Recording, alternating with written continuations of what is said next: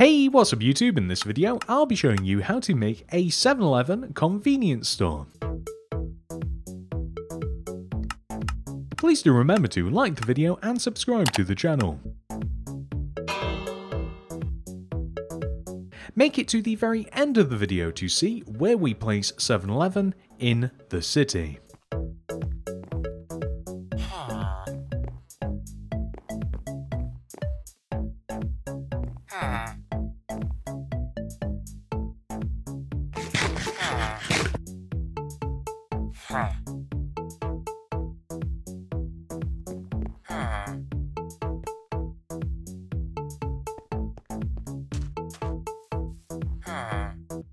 This is the amount of space required to make 7-Eleven. And here are some of the materials that we will use throughout the build. We will also need these materials as well.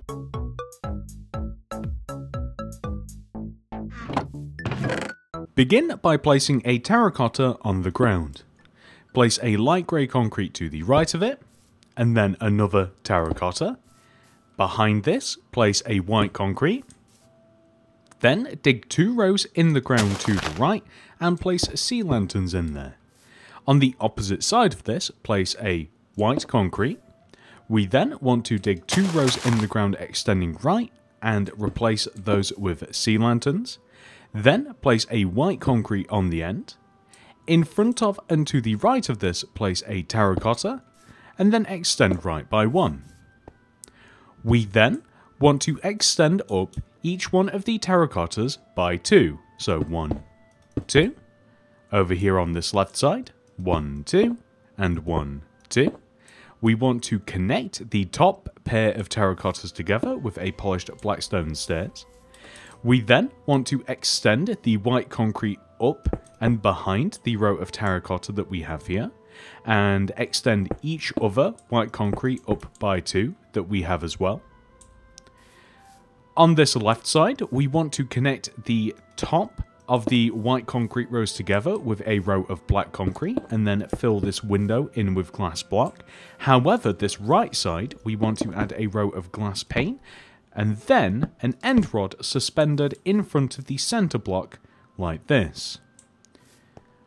We also want to add a bit of white concrete behind the light grey concrete, the gap and the stair that we have here.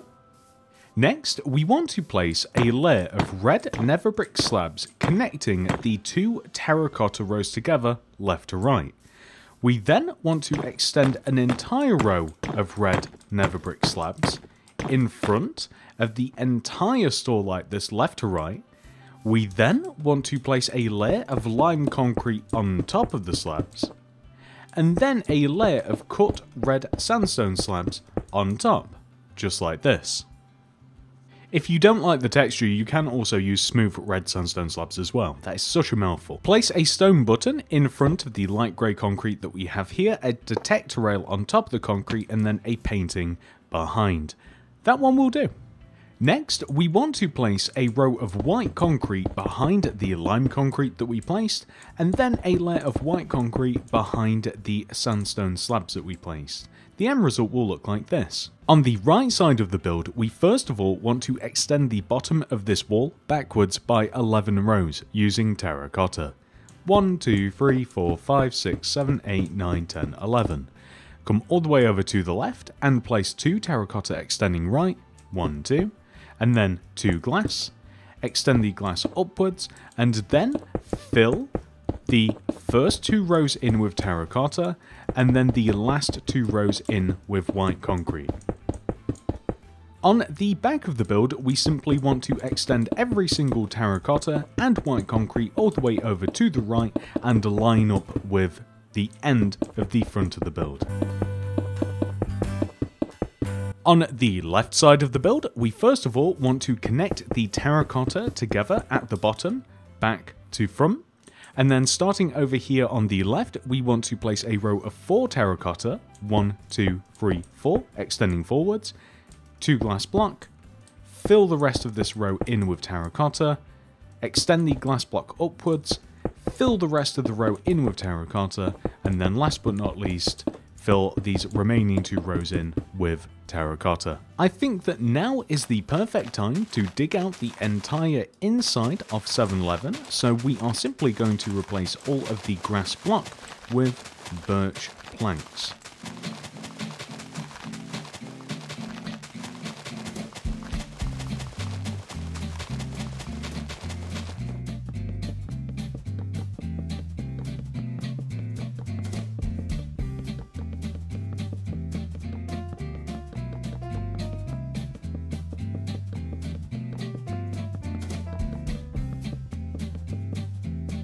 Whilst we're in here, we are also just going to add a row of white concrete just to the left of the door to smooth out this wall.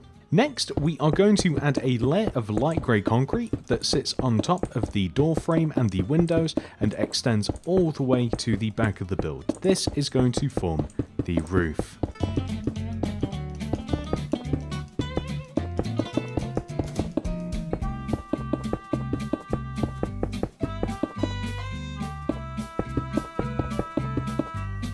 Next, we are going to add poppies to the left and right side of the build, but also we are going to add two rows of oak leaves that extend across the entire back of the build like this, and they just stick out one row from the actual 7-Eleven building on both sides.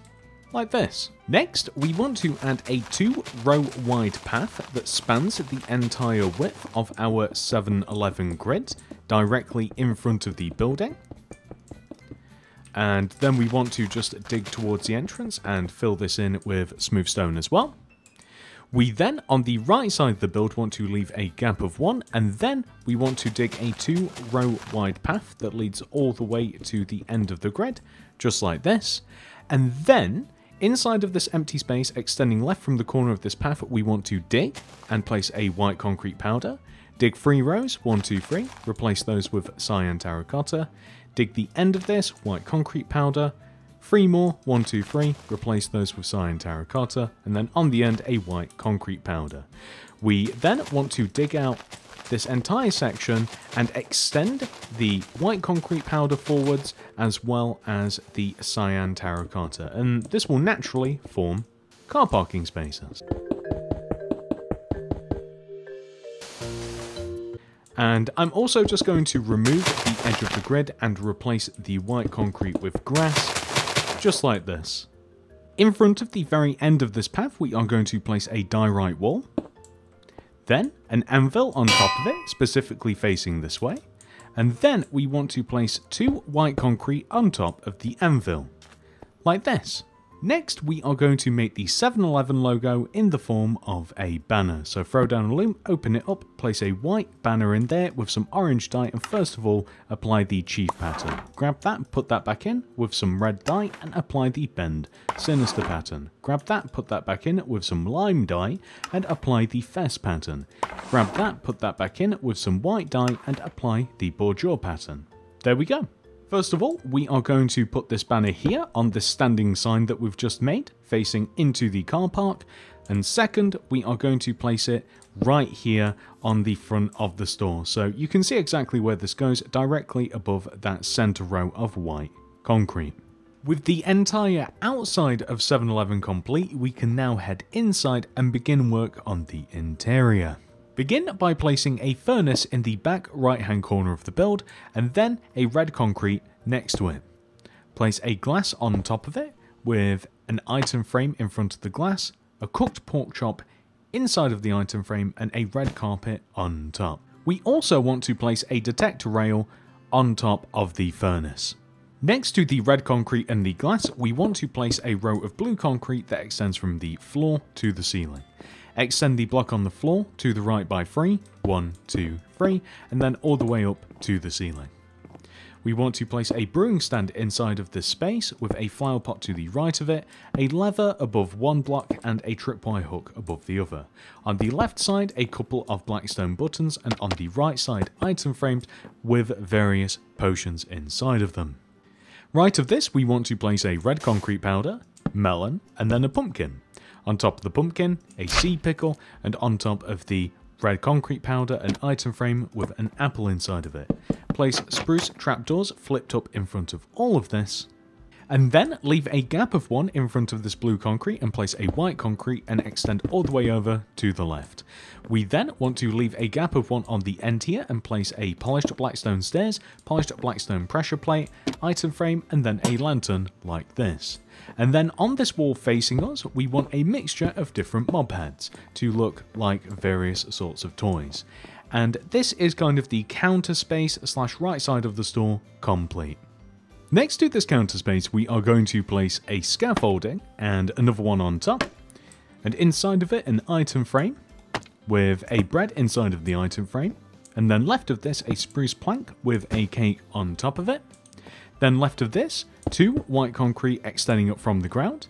We are then going to dig left, place a sea lantern, white concrete next to it, dig left, place a sea lantern, extend the white concrete upwards and place light blue stained glass in between all of the white concretes, smooth quartz slabs across the top of this. Then we want to add item frames to the glass in any sort of amount that you like.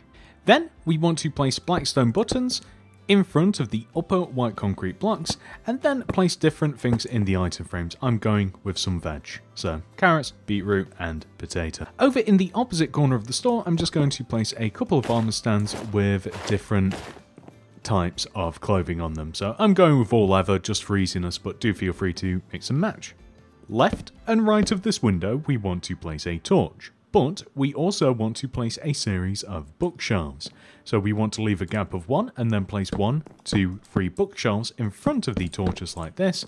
Extend them up a row like so. Add white carpet to the top of each of the bookshelves. Then we want to add, in this order, in front of the first bookshelf, a row of red carpet. In front of the second bookshelf, lime carpet and in front of the, well, this isn't a bookshelf, but you guys get the point. In front of the freezer section, a layer of orange carpet. And in finishing that, that is pretty much the entire inside of the build. And that is the tutorial complete, ladies and gentlemen. However, we still have one very important thing left to do. We must add 7-Eleven into our city. I hate to do this, but unfortunately there isn't a great place for 7-Eleven at the moment, so we are just going to put it into storage next to our fire station. However, I am going to work on putting a bunch of builds together that will then allow me to place this and a few other builds that are in storage at the moment as well. But that's it. I do hope that you guys have enjoyed this tutorial. Please do remember to like the video and subscribe to the channel. I hope that you are enjoying building your city as much as I am enjoying designing and making my city. If you're looking for more builds to add to your city, please do remember to check the description below for the mini city builds playlist. We have so many things in there that you've probably not built that it will keep you busy for a long time.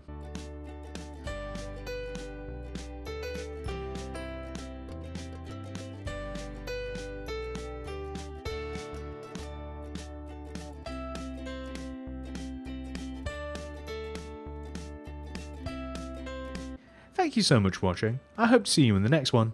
Goodbye.